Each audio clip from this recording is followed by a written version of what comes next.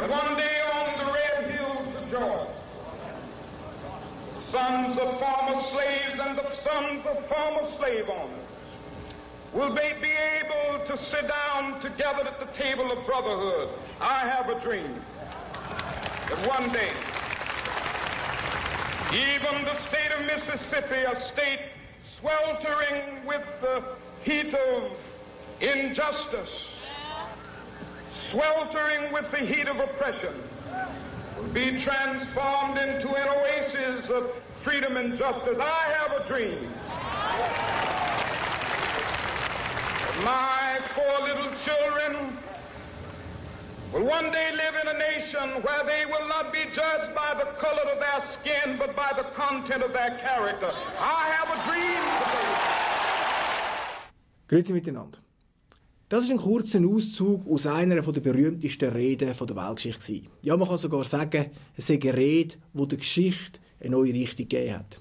Insbesondere hat sie der Bürgerrechtsbewegung in den USA Schub gegeben. Gehalten hat sie der US-amerikanische Baptisten, Pastor und Bürgerrechtler Martin Luther King.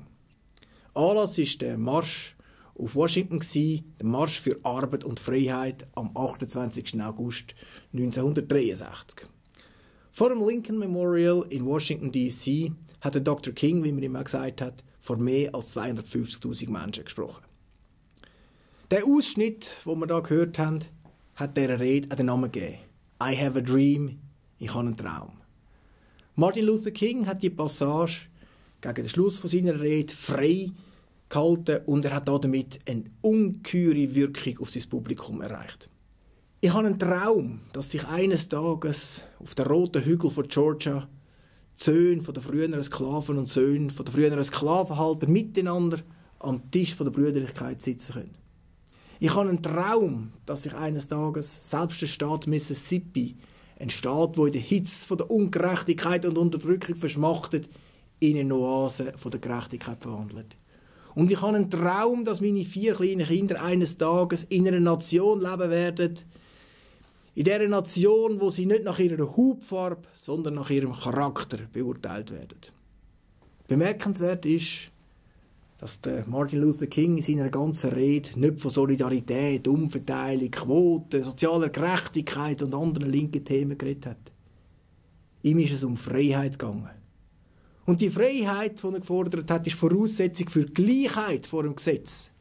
Die Menschen sollen nicht anhand von ihrer Hautfarbe beurteilt werden, sondern anhand von ihrem Charakter und natürlich anhand von ihren Taten. Leider erleben wir in dieser Beziehung gerade einen Rückschlag. Die Hautfarbe gewinnt wieder an Bedeutung. Während sie eigentlich so wichtig sein wie die Schuhgröße von unseren Mitmenschen, stellt sie für linke Eiferer ein Kriterium dar, wo über Gut und Böse entscheidet. Der amerikanische Dokumentarfilmer Michael Moore hat zum Beispiel einen Film produziert über die dummen weißen Männer. Die sind seiner Meinung nach für alle Probleme in der Welt verantwortlich zu machen. In seinem Furor hat er allerdings übersehen, dass dumm, weiss und Ma perfekt auf ihn selber passt. Weiter geht der Hass auf weiße Männer bereits in Südafrika, wo weiße Farmer enteignet werden. Auf Plakat wird ganz unverblümt dazu aufgerufen, alle Weißen umzubringen. Einer der Schlachtrufe lautet Let us kill the white man, the white man must die. Lasst uns die Weißen töten, die Weißen müssen sterben. Statt auf den Charakter, wie es Martin Luther King gefordert hat, wird also wieder auf die Hautfarbe gesetzt. Leider nicht nur bei ein paar gestörten Kulturschaffenden oder bei brandschatzenden Horden in Afrika. Nein, auch im Leibblatt von der linken Intelligenzia, der New York Times, ist gerade kürzlich eine Kolumnistin angestellt worden, die auf Twitter mit Slogans wie Cancel White People, also lösche den weißen Menschen aus, um sich wirft und weiße Männer ganz generell als Bullshit verunglimpft. Die junge Frau heißt Sarah Jung. Sie stammt aus Südkorea, also aus einem Land, wo dank dem Einsatz von weißen Männern vor dem Kommunismus verschont worden ist und dann im der Folge davon zu einer der dynamischsten Volkswirtschaften geworden ist. In einem Tweet sagt Frau Jung, es ist schon fast krank, wie viel Freude es ihr bereitet, alte, weiße Männer zu quälen.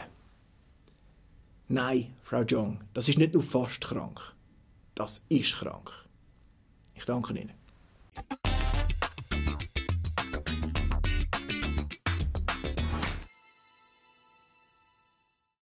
Grüezi miteinander. Seit Ende Januar produzieren wir jetzt mittlerweile schon den Zeck-Faktor. Und wir sind recht zufrieden mit dem bisherigen Erfolg und mit der Entwicklung der Zuschauerzahlen. So wollen wir es auch weiterhin halten. Aber derartige Sendungen kosten natürlich Geld und auch wir kochen nur mit Wasser. Wenn Sie in der Sendung oder im Umfeld von meiner Sendung Zeck-Faktor Werbung platzieren wollen, dann schreiben Sie uns doch am besten eine Mailnachricht an zeck.startv.ch. Ich melde mich dann sofort bei Ihnen. Danke fürs Zuschauen und bis zum nächsten Mal.